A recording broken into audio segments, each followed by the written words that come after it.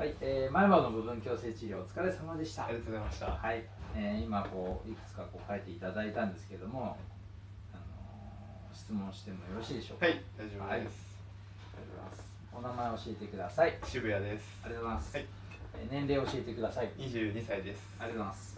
前歯の部分矯正で実際に動かしてた期間を教えてください。大体 6, 6ヶ月と6ヶ少月しぐらいです半年ちょっとぐらいやってましたよね。上をね。はいやってました。はい。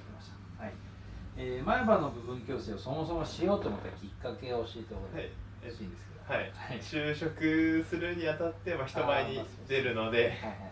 前歯の部分汚かったのでそこを直しておこうかなと思ってなるほどなるほやりましたど。でも就職がはい決まってそうですねね決まってからです決まる前はそこまでなんかやろうみたいなそうですね汚いなっていうのはあったんですけど、うん。でもまあやろうかなまでには至ってなかったです別に。そうなんだ、はい。でたまたま友達がうちでやってたんですよそうです。ねはい。友達でやっていてそこから聞いたって感じですか？ああそこから聞きました。じゃあえっとじゃあ小学校とか中学校とか高校ではそこまでって感じですか？そうですね別に特に気にして気にしてもいなかったぐらいです。はい。で就職が決まって、えー、お知り合いがやうはいちでたまたまやってて、それで話を聞いてみて、はいそうです。でやってみよう。はい。なるほどですね。じゃあまあうちの森デンタルクリニックで前歯の部分矯正をした決め手というか、はい。だったらやっぱりその方がやってた。っはい。ていうのとあとは、はい。まああと値段うん。他の病院とかと見て、うん。まあ値段安くて。うんであと、まあ、半年ちょっとぐらいで終えなきゃいけなかったのでそうですよね。もう時間術が決まってたので。リミットがありましたね、そこまでに終えられるっていううん。お話だったので、あじゃあここにしようと思って 決めました。あなるほどですね、はい。そうですね。もう引っ越しちゃいますから、はい。そうですねなるほどなるほどじゃあいざこうもうスタートするんですけど、はい。まあスタート前に不安だったこと。ああまあ大きくは痛みがやっぱりあるっていうのを聞いてたので、痛みがどんぐらいなのかなっていうのと、うん。まあ、日常生活とか特に野球もやってたのでなんか野球になんか影が。響あったりしたら嫌だなっていうのはありましあ、あとは治るのかな。ちゃんと治るかなって、はい、ねっていうのも少しありました。で実際痛みはどうでした？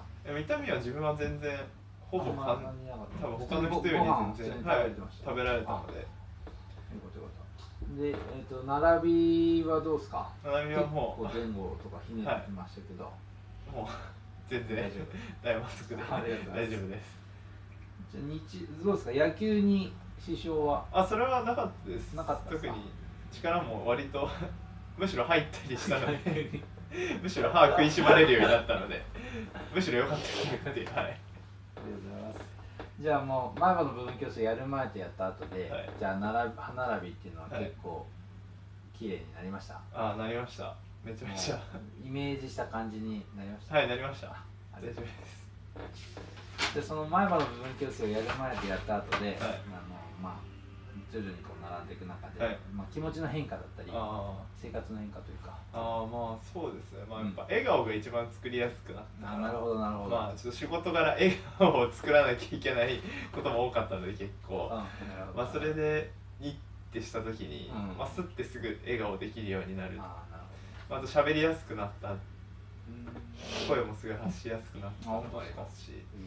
まあ、あと力入れやすいというか。あー。まあ、野球の時とか特になったんですけど、スポーツとか、はい、そうですね。まあ喋る仕事ですもんね、はい。ね。